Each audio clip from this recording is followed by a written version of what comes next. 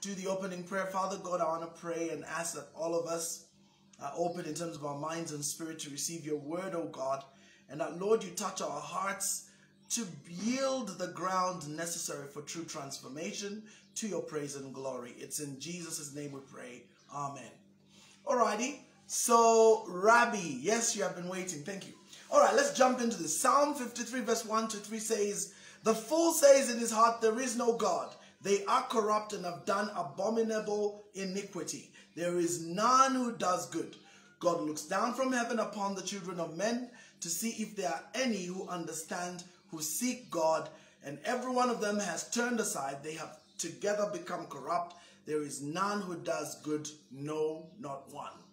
Alrighty, so that's um, that's Psalm 53, verse 1 to 3. And uh, I'll also go to Romans. Now, Romans is a well-known passage. And uh, I think for me, it, it really gives a very, very interesting scenario of what's going on today. And so when we look at skepticism, you will understand how it all ties up to this particular scripture. So let me just read it out. I'll read it first in the NLT. And then later on, somewhere in the middle of our, of our lessons, I will turn um, into reading from the um, message version. Brandon Moyo, I love you, sir. Leo, though I lost your line. Really, you did? Ah, oh, shame. Now nah, we'll, we'll make a plan so that we get the line back. Leo, I remember we've been interacting, uh, Leo. Uh, I have your number, so I think I'll send you a message, but I mean, I'm online right now, so I can't. Right, so the Bible reads in the book of uh, Romans 1 verse 18 all the way to the end. It says, But God shows his anger from heaven against those sinful wicked people who suppress the truth by their wickedness. They know the truth about God because he has made it obvious to them. For ever since the world was created, people have seen the earth and the sky. Through everything God made, they can clearly see his invisible qualities, his eternal power and divine nature, so they have no excuse for not knowing God. In other words, nature speaks by itself about who God is. Yes, they knew God, but they wouldn't worship him as God or even give him thanks. And they began to think up foolish ideas of what God was like. As a result, their minds became dark and confused. Claiming to be wise, they instead became utter fools. That's your skeptic right there. And instead of worshiping God, the, the, the, glorious ever-living God, they worshipped idols made to look like mere people and birds and animals and reptiles. So these are your nature worshippers. So God abandoned them to do whatever shameful things their hearts desired. As a result, they did vile and degrading things with each other's bodies.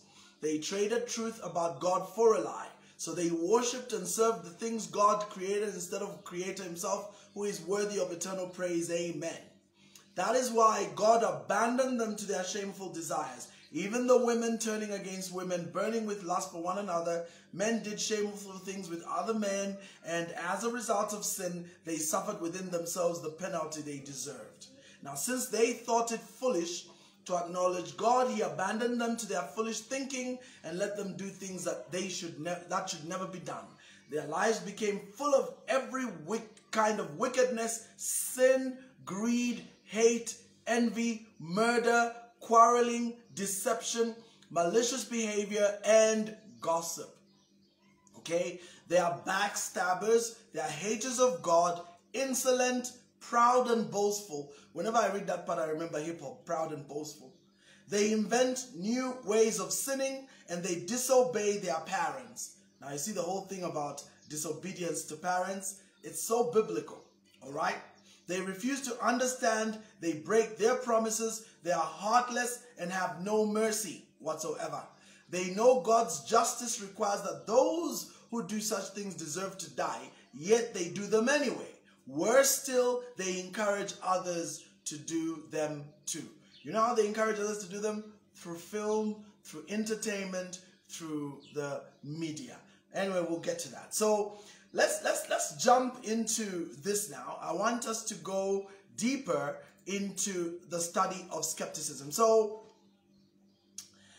um, let's begin with defining it. Okay, so there are several definitions to this particular spell. And by the way, somebody asked me, why do you call these things spells? And you know, I, I think people do not understand the term spell. So let me show you what the dictionary definition of a spell is because I think a lot of people just don't understand the implication. All right. So uh, a spell, especially from a magical charm, is this. Listen, a form of words used as a magical charm or incantation. All right. So that's very interesting. And then when one is under a spell, it means they are not fully in control of one's thoughts and actions. Under someone's spell means so devoted to someone that they seem to have magic power over them. So, in other words, um, you know, this, this is an idea where someone is literally placed in a state that they stop thinking for themselves and they begin to follow whatever has been dictated to them. So when we talk about spells here, beyond just magic, I'm talking about coming under the control of teachings, ideas, concepts. And I want you to understand something even more profound. Let me show you uh, something a lot of people don't normally see. Let's go to Second Corinthians, Second Corinthians uh, chapter, chapter 4, verse 10. this is a very, very powerful scripture. Many of you know it. Many of you know it. Um, where, where are we now? Chapter 10, verse 4. I think it's chapter 10, verse 4. My bad. so it's Second Corinthians chapter 10, verse 4. My bad, my bad. So the spiritual war. Okay, so so for the weapons, um, it says, For the weapons of our warfare are not carnal, but mighty in God for pulling down strongholds, casting down, count this now, arguments, and every high thing that exalts itself against the knowledge, bringing every thought into captivity to the obedience of Christ. Do you see that? So what what what exactly are the the the weapons of warfare fighting down? First, they are casting down arguments. Then they are bringing down everything that exalts itself against the knowledge of God. And then they are bringing into captivity what? Every thought. Now, did you notice that arguments, knowledge, and thoughts all exist in what realm? The mental realm. So you people need to understand that the greatest warfare we face today isn't some demons flying around in heaven where people spend the whole night praying over them. No. The greatest warfare we're facing today is the warfare of ideas, my friend. Ideas. So, what you have to understand is when an idea is created, it is sent out as a meme.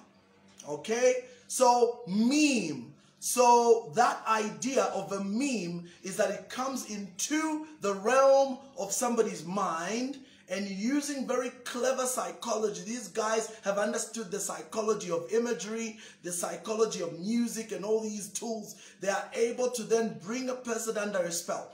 And the spell is really just planting the idea into the minds of a, mind of a person. So you could call it you could call it a conception. Okay, a conception. But if you plant ideas well enough and you create the environment and factors well enough, then they could get into a state of inception. They now birth an idea from within themselves based on what the environment placed in them in the past. We call that priming.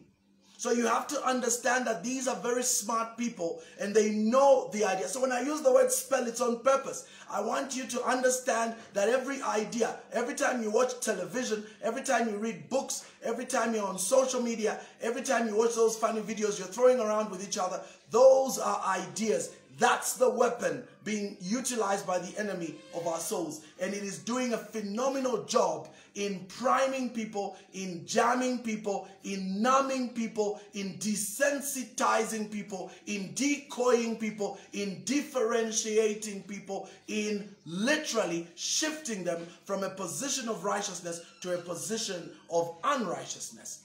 So they are very smart.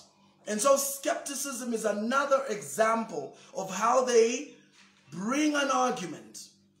Okay, so that's it. You bring an argument. And what's that argument doing? Raising itself up against the knowledge of God, which is God's law, God's precepts, God's word. So what does this do? It comes up to counter these things. And then what does it do? Then it captivates the thoughts and minds of people. So, Hortensius, you're saying spells tend to control the victim's behavior. Thoughts, example, idolizing, thoughts, example, idolizing a role model, especially musician. Correct. So, if that musician becomes somebody you love, when they do things which are not right, because you love them, you tend to justify and rationalize. I always like that word. You rationalize their behavior. To rationalize means to create lies that are rational. So, rational lies. So, you do that to yourself and you say, No, I'm sure it's okay. I'm sure there must be some spiritual meaning to this. So, so oh, I think it's okay. I think those are old fashioned. I think and by the way, you must remember that over time, they've been consistently dropping these mind bombs on you through media. That's why we call it memes or meme-nomics, memes. So I'm sure a number of you remember Johnny uh, Mnemonic. Mnemonics is the concept of creating ideas that can spur and control an individual in a very profound way to bring about an end. Um, if you ever watched the movie The Manchurian Candidate with uh, Denzel Washington and Liev Schreiber, that's the same idea of planting. Now that's a bit more extreme because obviously of the story behind the movie, they were creating assassins that would commit murder without realizing. But the idea is that you plant these seeds and concepts and then people don't realize so that later on when confronted with a scenario or situation they are not able to argue because you've already been priming them. You have been preparing them. You have been setting them up. So this weapons of warfare being mighty in God, people don't understand. You know what a stronghold is? As a, as a person who teaches uh, uh, cognitive science and as an NLP practitioner, I can tell you that a stronghold is your mind. In your mind, there's something called the reticular activating system. That system is your strong man inside of you. I'm not going to go into that because I've got no time. That's not the lesson we're tackling today. So you just need to understand that when I use the word spell, it's very deliberate because I know exactly what I'm talking about. I'm talking about an incantation made by words, images, and symbols with sound, usually to the accompaniment of music, which then breaks down the RAS barrier because it's been shown that music is the one medium that can dull the RAS. The RAS does not activate because it is it is uh, mesmerized by the music. So music has an has a hypnotic effect. Music is able to tap into your emotional centers of your mind and moving mu music can then move you emotionally whether it's into dancing or it's into crying or feeling melancholy it doesn't really matter what people call worship whatever it is music will create that emotional state in you and so that's why we say music creates an atmosphere whether it's a positive or negative atmosphere is a topic for another day but the point is, it creates an atmosphere. So what that does, that atmosphere, is it breaks down the reticular acti activation system, which normally barriers your mind from listening to things. And so good musicians will use powerful music, and then they'll use powerful lyrics, which are pushing across an agenda or a concept, and then people sing along, and they don't realize they're actually singing to a concept they would normally not agree with. I'll give you a very good example, but then I might be using a song that you, you may not be aware of because it's a very, very old song. But uh, the Beatles did a song called, um, actually, several of them. You know, the Beatles were deep into this stuff, but I, I think I'm going to talk about. Let me think, let me think, let me think which song can I use for the Beatles. Sergeant Pepper was praising Peter Pan and Aleister Crowley. Most people never knew that the song Sgt. Pepper was actually about Aleister Crowley. Uh, many people didn't know that, for example, uh, Elton John, when singing about Daniel, he wasn't singing about his brother, but he was singing about his gay partner. Now, now we can go into many examples, but you know, you sing along, Daniel, my brother, you are more than a friend. Do you still feel the same? So you're singing this song and you don't actually realize that you're singing about a gay relationship. So, so it's a very clever way of, of, of, of jamming people you know the, the music is really good the lyrics are awesome the, the tune is amazing and so you sing along but you don't realize that as you sing along you're actually embracing this thing favorite example has got to be rolling stones sympathy for the devil. That song is so catchy and a number of us have watched movies where the song plays. And and and i mean the most recent is cruella. You know cruella is one crazy character. One of the things I've been doing so effectively in the spell casting is to use a negative char uh, character. For example, Cruella, those who know 101 Dalmatians, Cruella's always been the bad one. She's the one, the evil queen that's trying to capture all the Dalmatians and turn them into, into, into what, what, you know, should make outfits out of them, out of their skin. Cruella gets a movie of her own, and in that movie, they sympathize with her. So we get a backstory to why Cruella becomes Cruella. It's very similar to Maleficent. That's the Angelina Jolie movie, where she's playing the witch that actually causes Sleeping Beauty to go to sleep. So if you know the fairy tale Sleeping Beauty, the witch made a spindle, she was spinning it, a pin pricked her, and she went to sleep for a hundred years. The whole kingdom went to sleep, and it took the kiss of a prince or whatever. So, so it's one of those old uh, fairy tales. But what's interesting is that that particular movie, Maleficent, we get the backstory of the Black Witch. We get the story of why she became a witch. And then we get a sympathetic view of her. Now, coming back to Rolling Stones, Sympathy for the Devil is a song literally about the devil. It is the devil speaking his own words about who he has been, how long he's been around, how he tempted Jesus, how he's been painted bad, but in actual fact is a good guy just trying to do his job. Very interesting. And of course, we know now you've got the TV series Lucifer, which actually paints the devil as this cool, handsome guy trying to help humanity, totally misunderstood. So that, my friends, is what I mean when I talk about the memes of culture that are completely spellbinding people into a twisted view of reality. So that's where I'm coming from. So let's go back to the spell of, of, of, skepticism. I just thought I should give you a background why I keep using spell, spell, spell everywhere. It's just to help you understand that really we are dealing with spells here. This is no joke, ladies and gentlemen. These Hollywood, television, social media, these are the tools of the modern wizard that is used to desensitize individuals from the reality of his existence and the acceptance of wickedness as good. Right, so now there are several definitions of this spell of uh, skepticism, as well as subjects within the wide spectrum of the word itself. So, in order to do them justice, I will define generally and then move specifically into one that is of consequence here, that being religious skepticism. So, I will definitely zero in on that. Now, in order to, in ordinary usage, skepticism is to think, to look about, to consider, according to the Merriam, uh, uh, Merriam-Webster dictionary, as a an attitude of doubt or a disposition to incredulity, either in general or toward a particular object. Then B, the doctrine. Now that's interesting because people argue about this. But the doctrine that true knowledge or knowledge in a particular area is uncertain. Or C, the method of suspended judgment, systematic doubt, or criticism that is characteristic of skeptics. Now, uh, a lot of you may not be aware of this, but I actually did a personality trait test on myself, and I discovered that my personality is that I'm a skeptic. I didn't know this, but I learned it. So it explains why I question so much. It explains why I don't buy into a lot.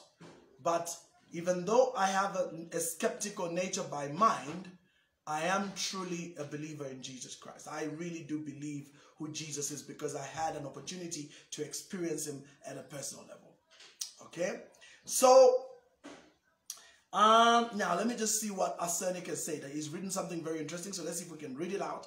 He says, An idle mind, ideas in the realm of the mind are quite similar to latent scripts or images which are not visible to the human eye without special devices or laser technology or processing.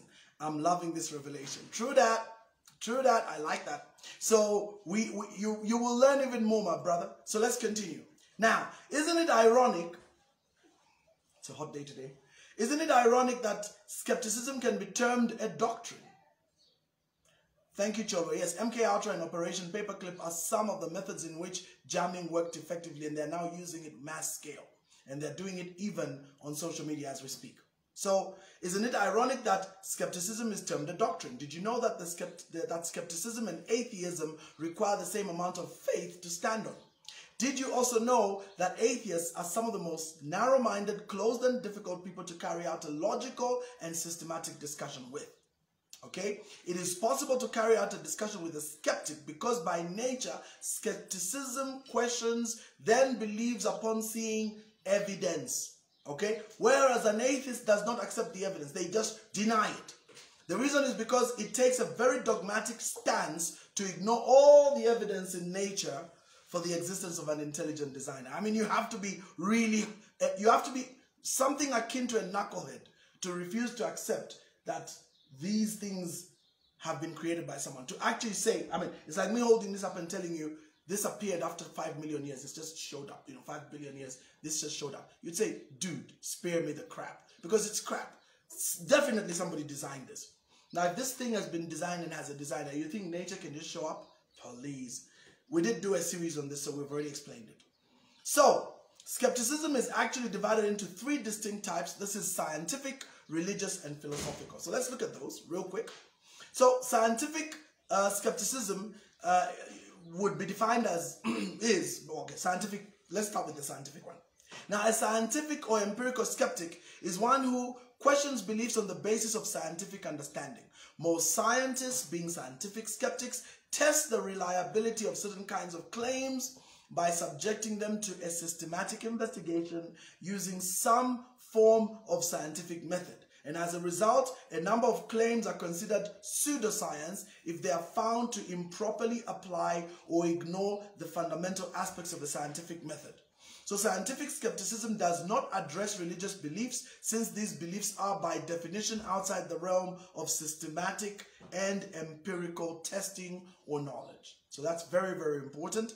Then religious skepticism generally refers to doubting given religious beliefs or claims. Historically, religious skepticism can be traced back to Socrates, who doubted many religious claims of the time. So modern religious skepticism practically places more emphasis on scientific and historical methods. Or, where are we? Um, I'm lost. I've lost my section. Where are we? Where are we? Uh, right, right, right, right, right. Than blanket non-acceptance. Okay. For this reason, religious skeptics will, for example, believe that Jesus actually existed, since he can be historically attested to. But if not a Christian, will likely question whether or not he performed miracles. So the existence of Jesus is denied by people who choose to just be dumb and obtuse. So historically, it is true the man walked the earth. Okay? The only issue a scientific and religious skeptic would do is to question whether the miracles were really miracles or it was just a lack of knowledge of the time. So was it really demoniacs or was it epilepsy? You know, that kind of thing. So religious skepticism is not the same as atheism or agnosticism. Religious people are generally skeptical about claims of other religions, at least when the two denominations conflict in some stated belief. That's the one. Philosophical uh, skepticism, uh, which is also Pyrrhonism, is a position that refrains from making truth claims. Okay, a philosophical skeptic does not claim that truth is impossible, which would be a truth claim. so the label is commonly used to describe other philosophies which appear similar to philosophical skepticism, such as academic skepticism, an ancient variant of Platonism that claimed knowledge of truth was impossible. Okay, empiricism is closely related but not identical. Position to philosophical skepticism. So empiricists see empiricism as a pragmatic compromise between philosophical and nomothetic science. Philosophical skepticism is in turn sometimes referred to as radical empiricism. Okay, so very, very important as well. Now, let me see what uh, Dexter has to say here. So, Dexter says, We all believe in something. The atheist believes in himself, precisely. And that's why I say atheism is a religion and, hum and humanism is, is its philosophy, because humanism puts man at the center. So, everything is centered around man. Okay? Knowing enough that there isn't an all knowing creator is in fact claiming that there are uh, the all knowing ones and believe in their claims. And that's my point. Today we, we, we've been having, the, I posted something on my wall and it's caused a small storm because the humanists are on my case. We will do humanism as a topic next on the next uh, after this one. So you'll see it's very interesting and you'll be amazed how many people come up to argue when we talk about humanism. So the history of, uh, of, of, of this position. Philosophical skepticism originated in ancient Greek philosophy. The Greek sophists of the 5th century BC were of the most part skeptics. So uh, Pyrrhonism was a school of skepticism founded by Anaximander in the first century BC and recorded by Sextus Empiricus in the late second century or early third century AD. Now, one of the first proponents was Pyrrho himself. That's where the whole Pyrrhonism comes from. So Pyrrho of Elis, who existed circa 360 uh, 275 BC, and he traveled and studied as far as India and propounded the adoption of practical skepticism. So subsequently in the new academy, Arcelius, or Arcesilaus, sorry, who lived around 315 to 241 BC, and uh, Carneades, these names, 213 to 129 BC, developed more theoretical perspectives which uh, by which conceptions of absolute truth and falsity were refuted as uncertain. So Carneades uh, criticized the view of dogmatists, especially supporters of Stoicism, asserting that absolute certainty of knowledge is impossible. So he was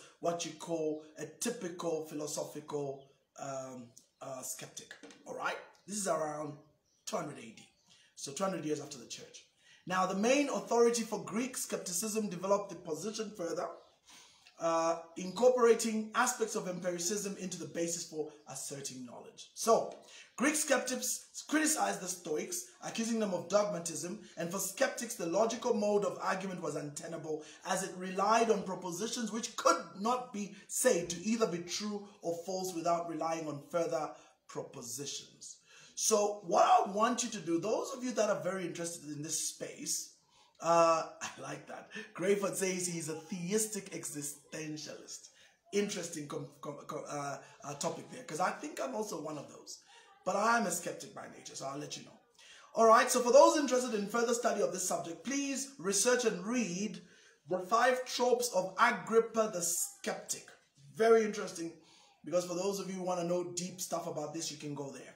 Now, the skeptics argued the two propositions could not rely on each other, as this would create a circular argument, as P implies Q and Q implies P. So nobody wants that. So for the skeptics, such logic was thus an inadequate measure of truth and could create as many problems as it claimed to have solved. So therefore, according to the skeptic, truth was not, however, necessarily unobtainable, but rather an idea which did not yet exist in pure form. Now, you and I, who are theists, know that the truth did manifest. His name was Jesus, but that's a topic for another day. So skeptics, although skeptics were accused of denying the possibility of truth, in fact, it appears to have mainly been a critical school which merely claimed that logicians had not discovered truth. So, Rene Descartes is credited for developing a global skepticism as a thought experiment in his attempt to find absolute certainty on which to base the foundations of his philosophy. Descartes discussed skepticism or skeptical arguments from a dreaming and radical deception. And then David Hume has also been described as a global skeptic. However, Descartes was not ostensibly a skeptic and developed his theory of absolute certainty to disprove other skeptics who argued that there is no certainty. So, where are we today when it comes to skepticism? So, current trends state that is in this day and age, skepticism is an approach to strange or unusual claims where doubt is preferred to belief. So, given a lack of conclusive evidence, Okay? Skeptics generally consider beliefs in the extraterrestrial hypothesis and psychic powers as misguided. Okay? Since no empirical evidence supports, you know, such phenomena. Ancient Greek philosopher Plato believed that to release another person from ignorance despite their initial resistance is a great and noble thing. So that's why atheists and skeptics kind of make it a mission to go after us theists. Okay? Modern skeptical writers address this question in a variety of ways. Okay, so Bertrand Russell argued that individual actions are based upon the beliefs of the person acting, and if the beliefs are unsupported by evidence, then such beliefs can lead to destructive actions. Okay, this is one point where skepticism is in direct conflict with faith. Now, James Randi also often writes on this issue of fraud by psychics and faith healers. Again, here is a case where blanket criticism and conclusions negate the many hundreds of cases of genuine healing with empirical and recorded evidence to support the same. There are certain, certainly many uh, charlatans in this area as you would have the genuine. And you know, uh, as, as, as, a, as a skeptic, I have seen miracles firsthand. I can tell you two which I've seen with my own eyes. The first, I saw somebody stand up and walk from a wheelchair a white man that became one of my spiritual parents sometime in the past. Uh, Bishop Alan Chinnery had been wheelchair bound for 10 years. At the word of a preacher, Bishop Moses Kulala, a man that I was translating for in a town called Reading in the, U in, in the UK, that man walked off his chair. There was no drama, there was no semantics, there was no acrobatics. He simply told him do you believe in the name of Jesus? Do you believe Jesus is the same today as he was in the past? The man answered, Yes. And what happened? He commanded the man and told him, Then in that same Jesus, stand up and walk. And Bishop stood up. That story was so profound and well known in Reading that it was even featured on West Anglia television, uh, the BBC version of that area. He featured there. Doctors came through to examine him. They had images of pictures of his crushed disc and his, his severed um, spine from his waist down. All that information was there. He was on disability allowance for many years. So that's a real story. I saw the man walk. He never sat again or, or got on a wheelchair again till the day he died. That was a first class miracle I saw happen instantaneously under the environment of a preaching of a servant of God. The second miracle I saw with my own eyes, which I experienced firsthand, was my own mother, who had been diagnosed with uh, fourth stage cancer with three months to live in 2016, October, November. I remember this clearly because I had I went for a seven day prayer in the mountain to pray for my mother and to pray for her healing. And she also stood very strongly in her belief of healing. Many, many members of our family and people stood to pray and believe her healing. My mother also understood the power of the use of natural remedies and herbs. And even though she began the chemotherapy in view of the advanced stage of this cancer, she stood and believed for healing, and so did I, and so did many. And we saw God's hand move 100%. She was healed of the cancer. After two months, the cancer went in remission to this day. This is now 2021, end of 2021. My mom is as fit as a fiddle, going around doing her business as if she never had stage 4 cancer with three months to live and a serious spread of the disease and on chemo. So when we talk about healing, it's not something I speak from far. When we talk about miracles, I could start giving you story after story. We could finish this whole hour on miracle after miracle, which I have witnessed. I have witnessed the impossible. I witnessed a girl that is demon possessed who spoke in a language she had no idea about. This is a Colombian girl, and I was with this bishop in a meeting. This Colombian girl began to speak a demon began to speak through her. Turns out, for the sake of the story, I'll be quick with this. Turns out that that girl was possessed by a very powerful spirit entity from her family. When she began to speak and, no, and make noise, my bishop stood in the middle of that service and, and pointed at that demon. My bishop couldn't speak fluent English, so he used to speak Swahili and I would translate. He stood up in the middle of that meeting and just pointed to that girl and told her, Silent! Just one word. Nana, no, no, in the name of, the, she just said, silent.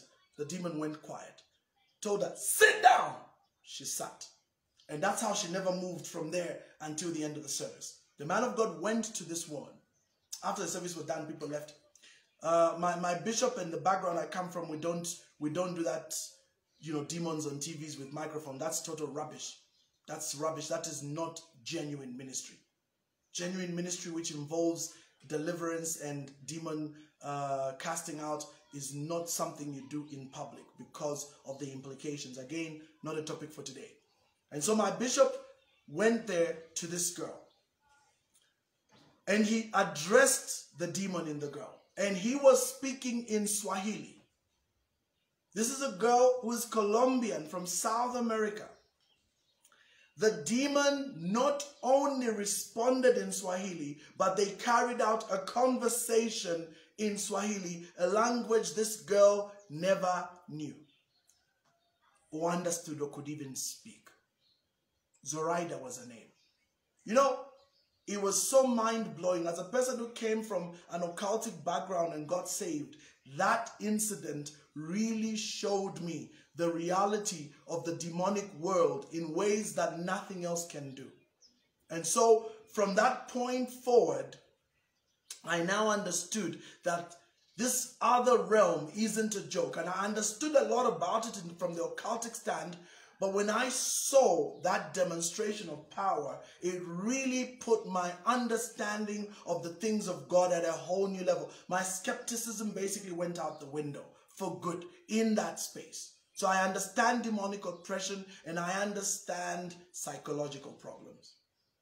We, I, I was in the room with youth when this girl, because after she had been helped, Bishop told us, because he had to leave, he said, This girl her spirit is tied to legal grounds. You must proceed and do one. He gave us instructions of what to do with this girl over the next month. So we all used to go there as youth to pray with her, to stand her. She loved Jesus, but she was it is like terribly tormented by the spirit. And I remember two incidents that were so supernatural. These were what we now call in um, in uh, in pseudoscience, in paranormal studies or parapsychology, we could call these incidents what we call manifestations of uh, of what I'm going to term paranormal manifestation. So so it's not ectoplasm, it's not any of that, but it's basically the manifestation of things from another realm into this realm.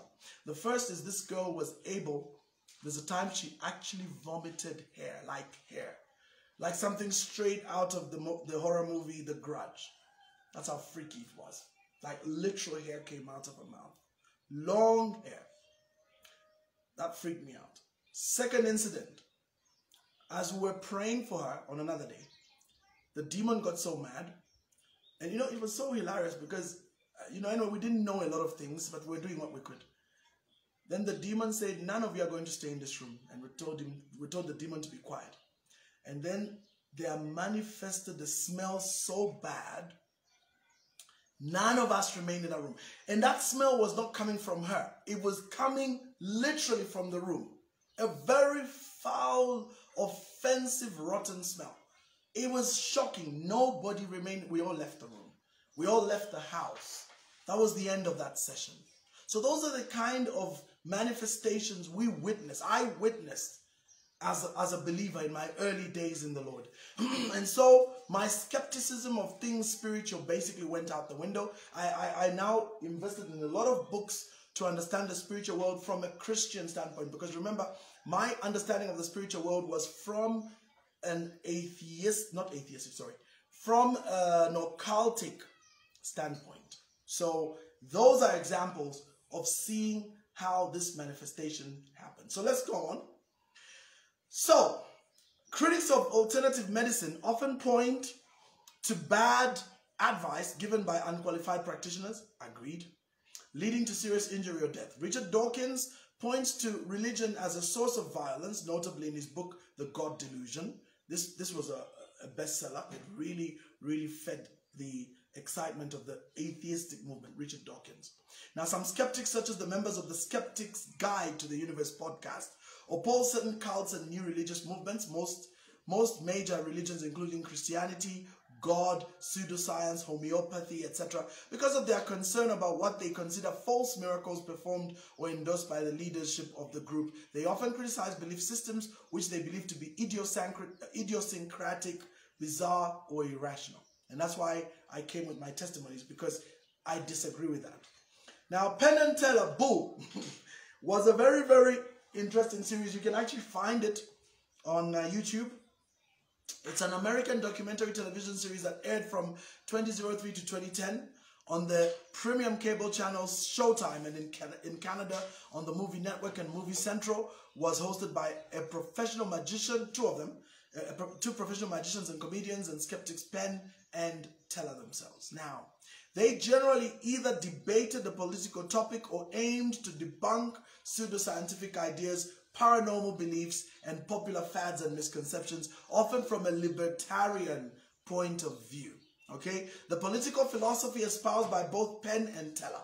Now, the show criticized proponents of what they perceived as nonsense or dishonesty, often citing ulterior political or financial motives. Now, the stated aim of the show was to apply critical thinking to misconceptions. Now, paranormal subjects of the episode include, among other subjects, the literal exegesis of the Bible.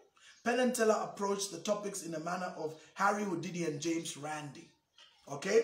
Uh, who who has appeared by the way more times more than once on the show and who are known for debunking claims of supernatural power so these guys were big in just debunking everything so what is the spell itself what's the spell itself so before i go to the spell let me see what arsenic's question is esther glad to have you uh, arsenic has a question he says what effect does skepticism have on human intelligence i.e academics and human behavior in a community setting? And then two, can we attribute success and failures to achieve perceived satisfaction as influenced by skeptical tenets, or is it just a matter of laziness? Very good questions. I think these are deep questions, so I'm going to handle them a bit later. But let's start with the first one.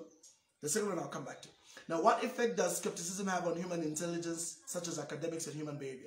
I think, to be honest, scientific reason, if you want to operate scientifically well, you must start with a healthy dose of, of skepticism.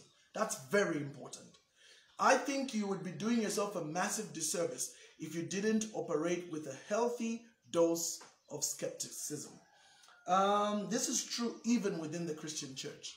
But then, when you choose to ignore the truth of God's word, then it becomes a problem. What I've found about the word of God is that it brings light and gives understanding to the simple. That's what Psalm says. It says, we must allow the word of God to get into our heart. So even the ostentatious question is easy to answer. How can we escape the spell of skepticism? Allow God's word to bring illumination in your mind. Not the words of a pastor, not even my words I'm teaching right now. Allow God's pure word. So find the Bible and make the Bible your staple diet. Find a good concordance. Find a good commentary Balanced commentary, by the way. Don't go get a commentary written by a known extremist, especially in the charismatic circles. I think those are not going to help you. So find somebody that walks middle of the way. They're not easy to find, but there are plenty. So if you go to a sober Bible school, if you get a sober, critically acclaimed uh, concordance, but not concordance, but mainly um, a, a commentary. Matthew Henry is one of the most respected uh, commentaries of the Bible. I like David Guzik. David Guzik combines a number of well-known teachers and he, he puts them together to form a very, very modern, very open commentary. Covers all sides of the argument, both a conservative, liberal, charismatic, all sides of the argument. So he brings this data, places it in there, and uses that as a commentary on a line by line basis of the entire Bible. Matthew Henry is very respected. So the beauty about such is that when you begin to study scripture using such commentary, believe me, your skepticism will, will, will turn to a healthy one. Because there is bad skepticism and there's healthy skepticism. I like to claim that I'm a healthy skeptic, but I mean, you never know these things. But I just think I don't take any cock and bull story from anybody. It doesn't matter who preaches the message, including my own father in the Lord, I will go to check that message out. The Bereans of Acts, the book of Acts, were an example of individuals that had healthy skepticism.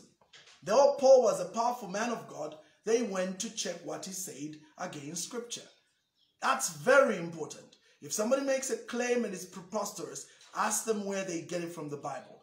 And when you go to that passage of the Bible, learn to read the Bible contextually and historically. That's extremely important. Get the context of why Jesus said what he said. So, for example, Jesus said, I did not come to bring peace, but to bring a sword. You know, that sword to divide mother and daughter, son and father, you know, sister and brother, and, and to, to, to divide nations. Now, what kind of sword is that? You see, if you, if you take that passage out of context, you would then behave like the Crusaders. That's taking it out of context. What Jesus, what is the sword? I came to bring a sword. What's the sword? The word of God is sharper than any two-edged sword. You see? So the, the word of God is the sword of the Spirit. The book of Ephesians says the word of God is the sword of the Spirit. Taking the sword of the Spirit. Okay? So it's an offensive weapon in our spiritual weapons of warfare. So it's very important to understand context when you're reading scripture. Don't just take scriptures out of context because you are very likely to end up with misinterpretation and serious error, which we've seen in a lot of Christianity. So that's what Jesus meant by the sword. I have come not to bring peace, but a sword. So it sounds like he's contradicting himself, but he's not. The sword of the Spirit, God's word. So when you're studying scripture, Hortensius, you need to understand that let the word in its whole counsel speak to you. And when there are issues of doctrine, let doctrine be guided by your position within the denomination you sit under. I'm big on denominationalism. Why am I big on denominationalism? Because I think looking at the state of the church today, denominationalism is one of the best ways in which we can protect the integrity of doctrine and belief by the confines of those denominations. Now, some denominations are too dogmatic and too closed. And that's why I say that if you can focus on God's word and let God's word speak to you, not what your denomination tells you, if you can let God's word speak to you, not what your pastor tells you, you'll be amazed how much your mind will open up. You'll be amazed how much freedom and understanding God will bring into your mind to grasp the truth of His word. So that's very, very important in understanding where we're going. Now, let me quickly, uh, the second question I'll handle later. Let's quickly finish this. So, what is the spell of skepticism exactly to the world? So, here's the spell. Now, hear it. Why should we always believe what the establishment says? If we cannot prove it, then it's not true. All must be proven scientifically through a repeatable methodology that can be duplicated anywhere, anytime.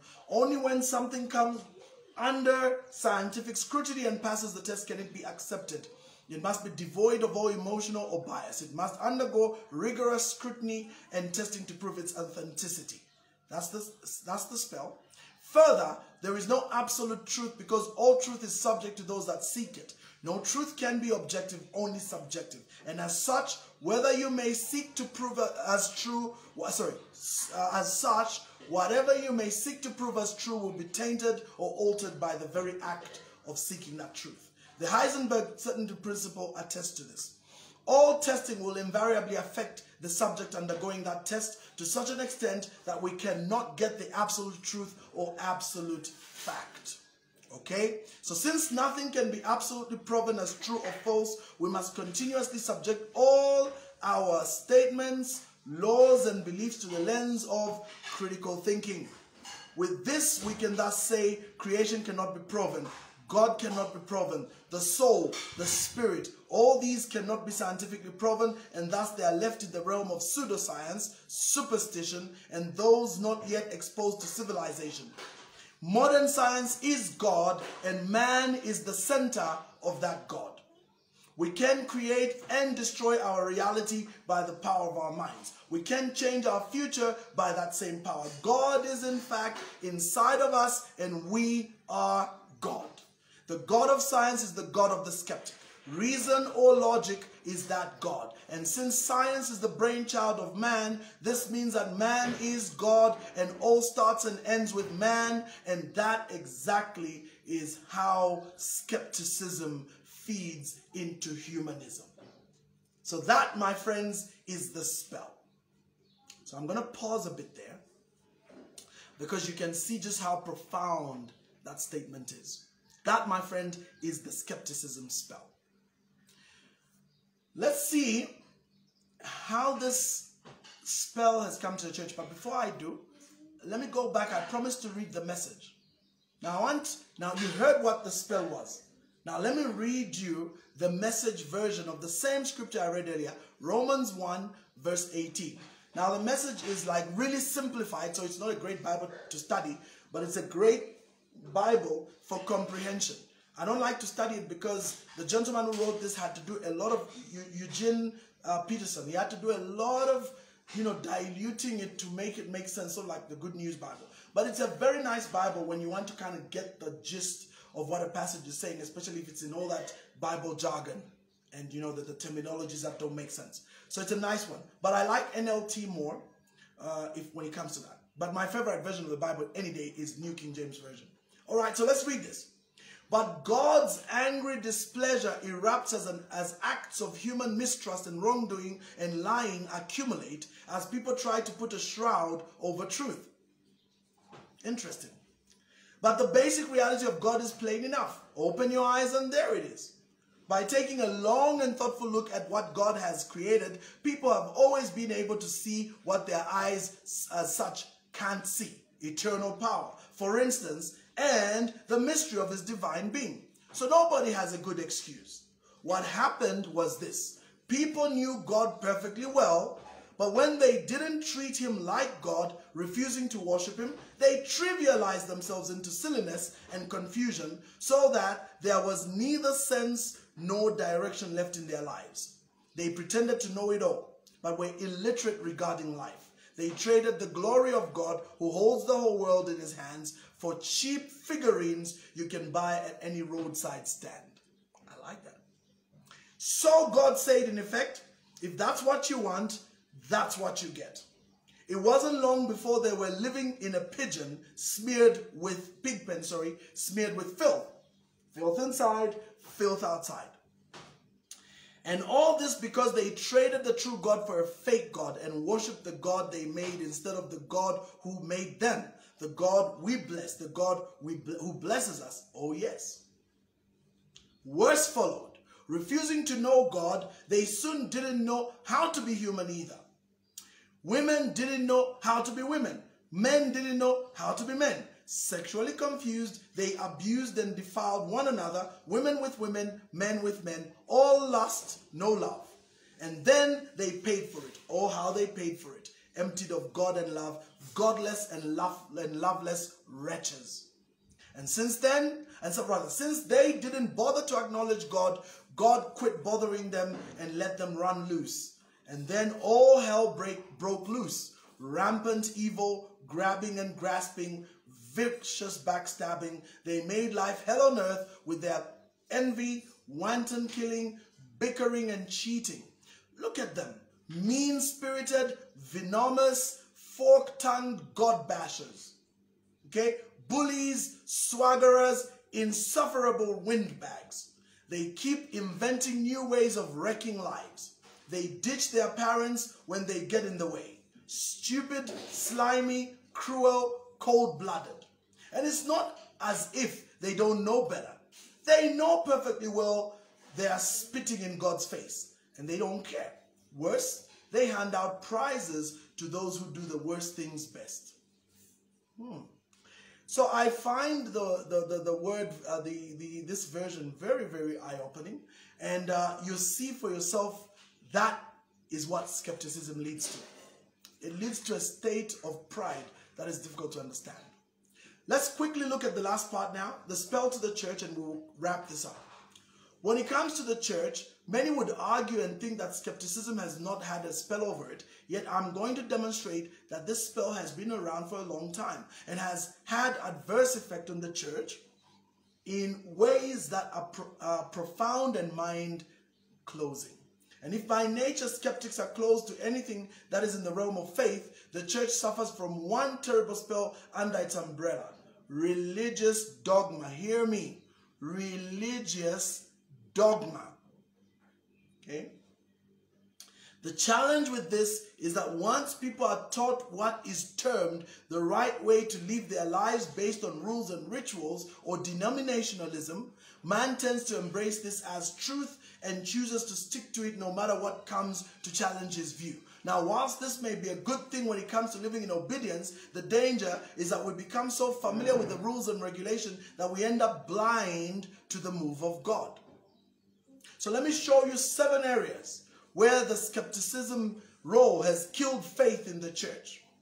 All right, so seven areas, and uh, uh, I really need to skip. There's a lot. I'm, I'm, not gonna. I'm not gonna go very deep into this. But number one is the whole concept of being born again. Okay, religious dogma always pushes the concept of works over faith, and in the finished work of the cross, religion wants people to keep working in order to gain access into heaven. They are taught to believe that somehow, if they can do good and get the scales to tip more heavily towards good, this will get them an entry ticket to heaven. When the truth is shown that our salvation is not by works but by faith in Christ, they reject this, believing that somehow this is a teaching from those charismatics and Pentecostals. Let me tell you that there is a big move in this area to push for religiosity and churchianity. So I'm not going to go into details. So that's the first area which is affected. The second is being baptized in the Holy Ghost. With the departure of Christ, Jesus promised a helper will come and lead us into all truth and will give us the power to live a victorious Christian life. And that power, dunamis, shall come from above and be generated within us because Christ lives in us and we have received the Holy Spirit. Now, when this happens, our lives are dramatically transformed and many times manifesting the power of God through the various gifts as listed in various portions of Scripture. The most obvious being those listed in 1 Corinthians 12, 8 to 11, namely the word of wisdom, the word of knowledge, faith, gifts of healings, working of miracles, prophecy, discerning of spirits, different kinds of tongues, and interpretation of tongues. Nine. Now, these gifts are given liberally by the Holy Spirit and are essential in making the Christian minister more effective in their work here on earth. And unfortunately, religious dogma has made many who could have potentially become recipients of these gifts to be rejected and in certain instances even suppressed. I know a number of people from some mainstream denominations who are very skeptical about this baptism of the Holy Spirit, who then experience it so powerfully and involuntarily, such that the experience left them dumbfounded and resigned to its truth. And this led to many either leaving their denominations and beginning a process of influence uh, of change from within. That's very difficult, but they have. So, number three, experiencing the miraculous. That's another area that skepticism has blocked. You see, this again, like I've told you, I have seen miracle after miracle, but the, the, the, the, the problem is that these skeptics within the church have shut all this down. Number four, living the abundant life. And I think this one is really, really sad. Okay? Unfortunately, so many have believed that somehow God does not want them to walk in abundance and blessings, that poverty is somehow equal to piety, a lie. And this is another lie from the church and from the spell of hell. And they have fallen under the spell to believe that poverty, sickness, suffering, pain, misery, and misfortune are somehow God's will. I can tell you they're not.